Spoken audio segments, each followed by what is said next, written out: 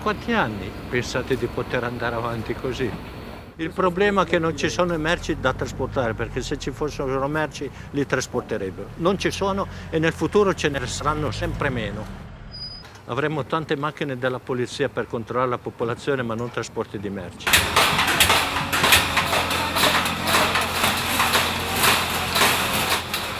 Non si torna indietro, ormai sei lì e balli.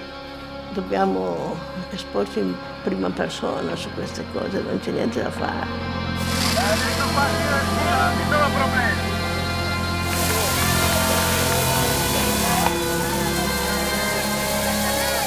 Chiediamo la condanna di tutti e quattro gli imputati alla pena finale di nove anni e sei mesi di reclusione. Io credo di ritenermi fortunato, di sentirmi parte comunque di una grande famiglia, come possiamo chiamare il movimento notaio.